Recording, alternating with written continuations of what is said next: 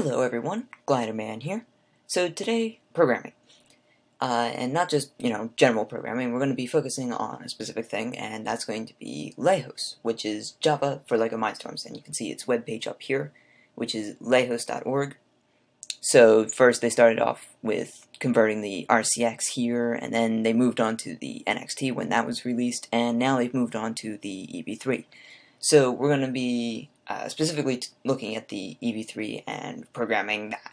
This is mostly just an introduction to this series, and so uh, what you need is to have already set this stuff up, as it's different for everybody. Uh, I really can't help too much. Um, but basically, you need a micro SD card plugged into the side of the EV3 that has uh, the Lejos custom firmware stuff. Uh, you can see that there's some instructions uh, down here on the wiki. And uh, have that set up. Uh, your EV3 will now not boot into uh, the standard LEGO firmware. however, if you pulled out the SD card after rebooting, then it will be back to the LEGO stuff, so you'd be perfectly fine there.